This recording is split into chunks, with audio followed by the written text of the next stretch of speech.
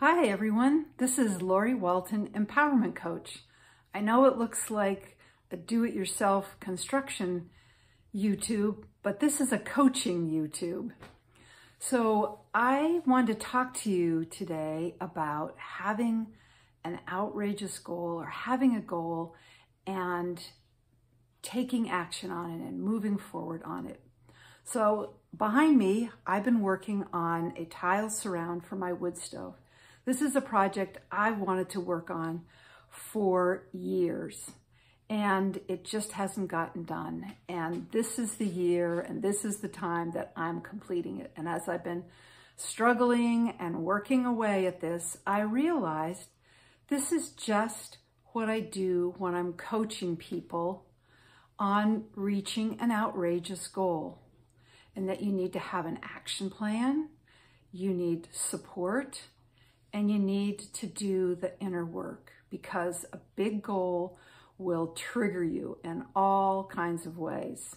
So first off, you know it was procrastination because I've been wanting to do this for years.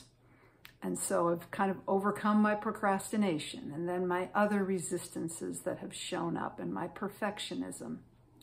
Because when you do a big goal, you really have to break out of the way that you have been always doing things and doing things in a new and a different way. And that is challenging. And that's when a coach can be really beneficial and helpful. So I have been coaching myself. I realized, oh, I'm using the same tools that I would use with someone to reach their outrageous goals. So I have found support. I ask for advice from people.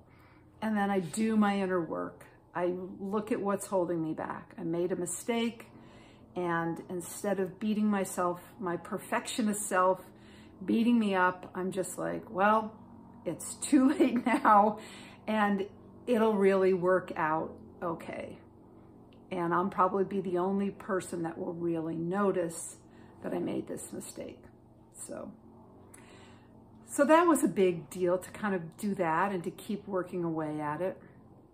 And another interesting thing I wanted to share with you about this project is that um, as I was working away on it, it was really a struggle to get started. The inertia to just getting my mind to think in a different way, to break down the tasks to the smallest thing that I needed to do.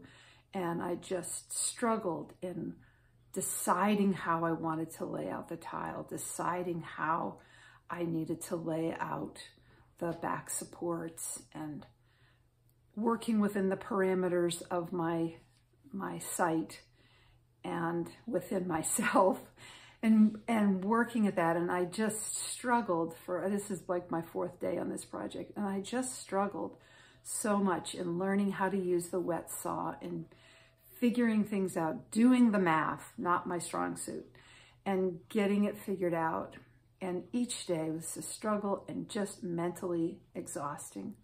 And the fourth day, I came down here into my basement to work on this.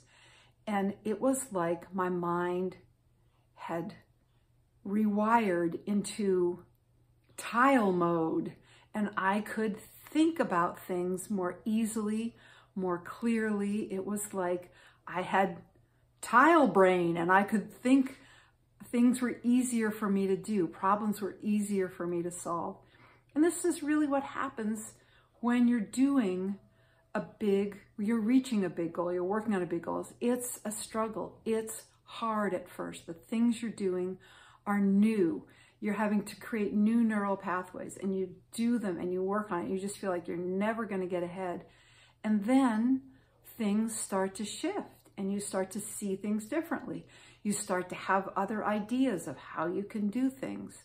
So um, this process, this physical process of tile installation has really been a great metaphor for how you can, how coaching can help and how you can use these tools to, um, to reach goals and other aspects of your life. So um, if you have goals that you're wanting support with, needing help with, reach out to me. My email is below and my Calendly schedule is below and um, we could have a little chat and see what would work for you.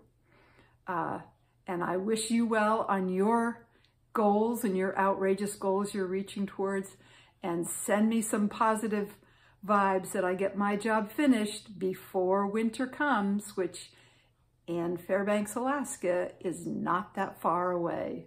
All right, Laurie Walton, Empowerment Coach, thanks so much for watching. See you next time.